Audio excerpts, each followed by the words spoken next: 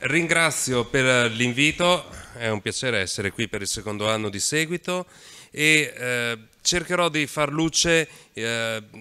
sinteticamente su quelle che eh, sono le novità recenti nel campo della biometria ottica. Eh, biometria ottica che è diventata eh, importante calcolo della lente diciamo in generale ha assunto ormai un'importanza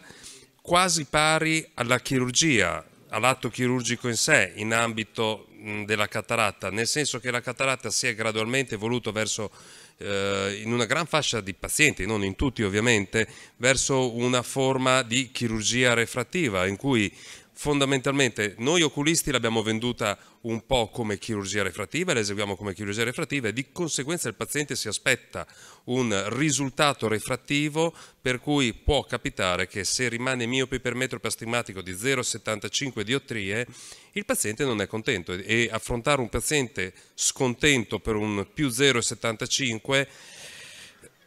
non è bellissimo ma tocca purtroppo farlo, è, opinione, cioè è esperienza di tutti. Quindi eh, per cercare di ridurre al minimo queste sorprese, che adesso non, non, ci sono in queste diapositive, ma sappiate che sono usciti eh, tutta una serie di studi negli ultimi due anni, molto grossi, ciascuno, il più grosso con addirittura 17.000 occhi,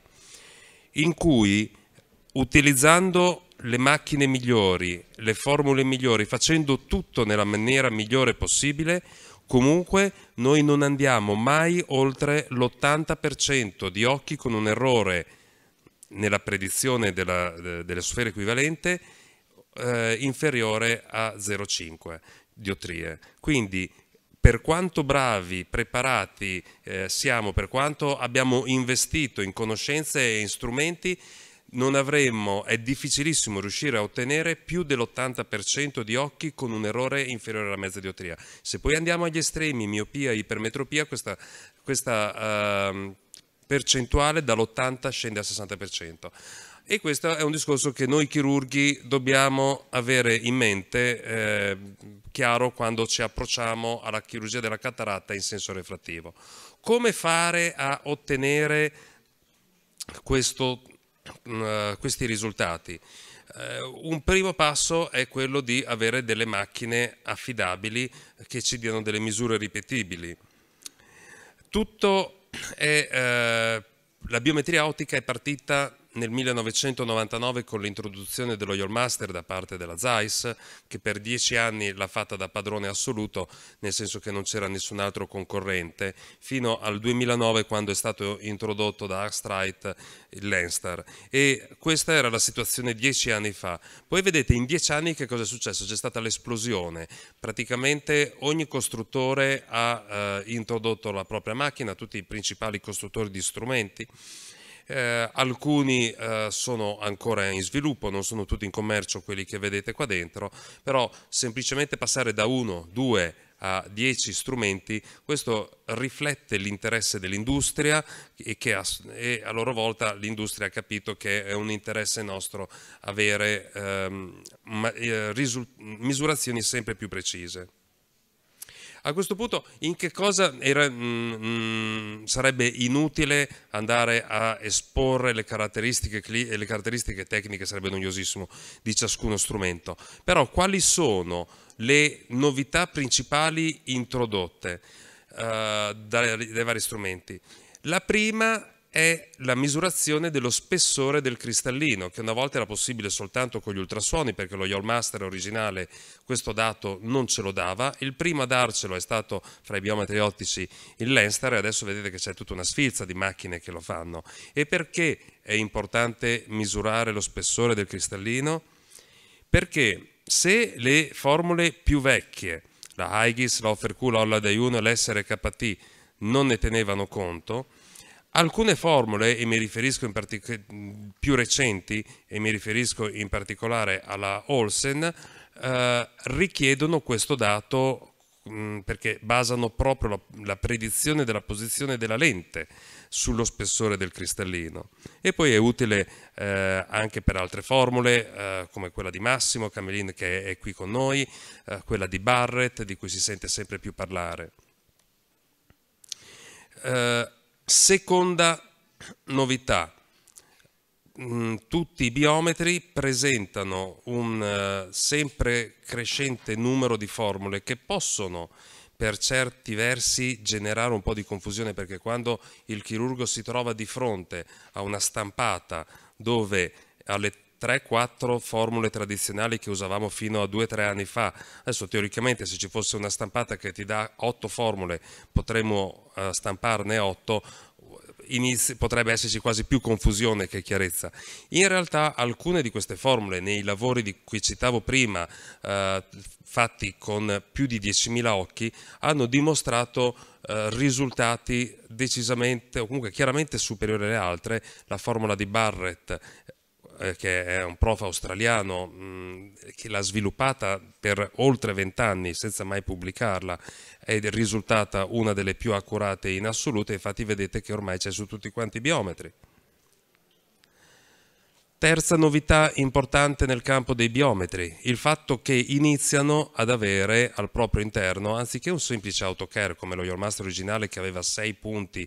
eh, illuminati sulla cornea iniziano ad avere dei topografi veri e propri. Questi sono due, il Topcon e il Tomei hanno un vero disco di placido dentro e con tutte le informazioni che conoscete eh, benissimo e tutti i vantaggi che possono derivare dal vedere eh, un'immagine come questa anziché soltanto sei puntini luminosi. Quali sono queste, questi vantaggi? Prima di tutto la possibilità di identificare una precedente chirurgia refrattiva, una PRK, una LASIK. È capitato ogni tanto di vedere qualche paziente in cui qualcuno dei nostri colleghi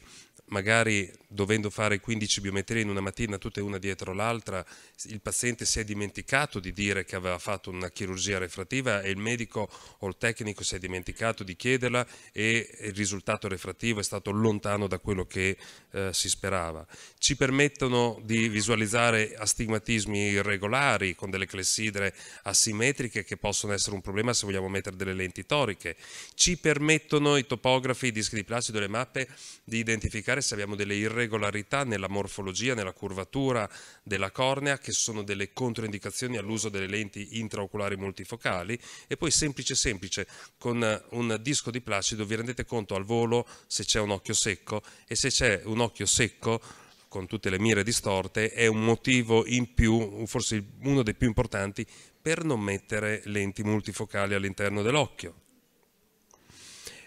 Poi si è c'è un ulteriore passo avanti perché due case costruttrici, anziché mettere un topografo, hanno, messo, hanno combinato alla, alla, biometria laser, alla biometria ottica una Shenflug camera. Sapete cosa sono le Shenflug camera? Ce ne sono 4-5 in commercio in Italia, quindi misurano anche il potere corneale, la curvatura e poi di conseguenza il potere della faccia posteriore della cornea. E questo ha la sua utilità nel nostro campo, soprattutto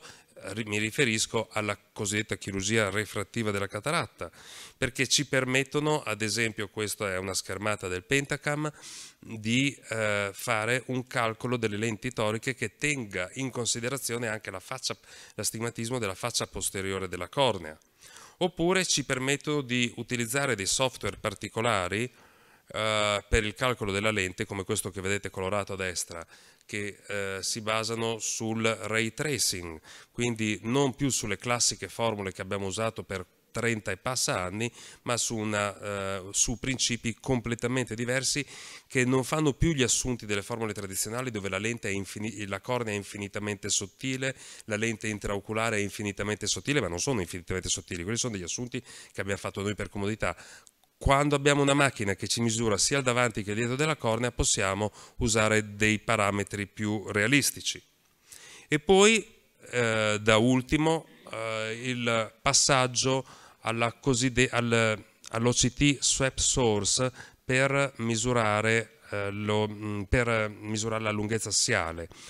È eh, un passaggio che abbiamo già vissuto quando facevamo la retina negli OCT, passando dalla tecnologia time domain alla tecnologia eh, spectral domain, eh, di cui Swap Source praticamente è un ramo. E come con gli OCT della retina siamo riusciti a migliorare tanto le immagini sia in termini di qualità che di velocità di acquisizione, anche qui c'è stato tre case, ma secondo me nel giro di pochi anni saranno tutte così, un grosso vantaggio perché riusciamo a ottenere misurazioni attraverso cataratte dense come quella che vedete in questa immagine che eh, lo Master originale assolutamente non sarebbe stato in grado di ottenere. E mh, ci sono tutta una serie di dati, di eh, studi comparativi fra lo Your Master e comunque gli strumenti di vecchia generazione e quelli di nuova generazione in cui si vede che ormai la percentuale di occhi in cui non riusciamo a prendere le misurazioni con la biometria ottica fondamentalmente si è abbassata sotto al 2%. Eh, in quei casi sapete che bisogna ricorrere alla biometria a ultrasuoni, però avere uno strumento che sappiamo che almeno nel 98% dei casi ci becca eh, rende la vita molto più semplice. E, eh, questa, secondo me, rappresenta la novità più importante degli ultimi anni in campo biometrico. E con questo vi ringrazio. E...